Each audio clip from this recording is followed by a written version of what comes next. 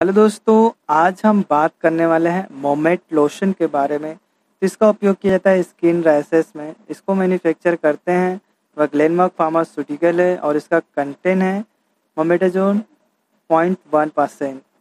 तो इसका thirty M का बॉटल है, जिसकी कॉस्ट है तीन सौ तिरपन रुपया। तो जब आप इसका उपयोग करते हैं तो आपको क्या फ़ायदे देखने को आ सकते हैं, कितने समय तक लगाना चाहिए, किन कंडीशन में क्या साइड इफ़ेक्ट हो सकते हैं तो पूरी जानकारी के लिए वीडियो के अंत तक बने रहें।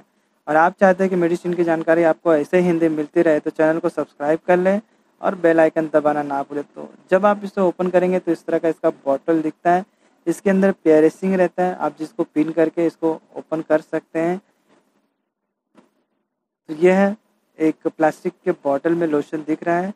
तो दोस्तों, इसका उपयोग तभी किया जाता है जब आपको एक्जिमा हो। आपकी जो बॉडी है स्किन पे रेड रेड चकत्ते पड़ गए हैं और वह इन्फ्लामेशन के साथ में या आपको सोरियासिस हुआ है, जहाँ पे आपको खुजली होती है और आपका स्किन थिकी है।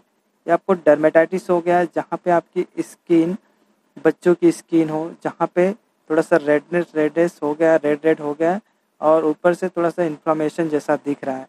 चक, लाल लाल चकत्ते दिख रहे तब इसका उपयोग किया जाता है। या स्किन के रैसेस में तब इसका उपयोग किया जाता है। तो इन सारे कंडीशन में यह बहुत ही बेस्ट रिज़ल्ट देता है। स्किन रैसेस हुआ एक्जिमा हुआ सोरियासिस हुआ डर्मेटाइटिस हुआ, बच्चों में डर्मेटाइटिस हुआ, तब इसका उपयोग किया जाता है। तो हेरी स्किन एरिया में बहुत ही अच्छे से स्प्रेड हो जाता है। तो इसका जब आपको उपयोग करना है तो एक बार डॉक्टर की सलाह ज़रूर लें। आप खुद से करते तो हो सकता है आपको साइड इफ़ेक्ट देखने को आ सकते तो जहाँ पे आप इसका अप्लीकेशन करते हैं, वहाँ पे आपको स्किन का पतलापन देखने को आ सकता है। वहाँ पे आपको थोड़ा सा जलन जैसी महसूस हो सकती है। बर्निंग में सेंसेशन महसूस हो सकता है।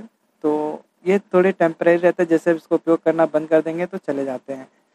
तो इसका उपयोग करना है आपको ट्वाइस डेली मॉर्निंग और इवनिंग आप इसे दोनों टाइम लगा सकते हैं। अगर आप इसको चेहरे पे लगा रहे हैं तो ख्याल रहे कि आप बाहर जाते टाइम छतरी वगैरह का उपयोग करें।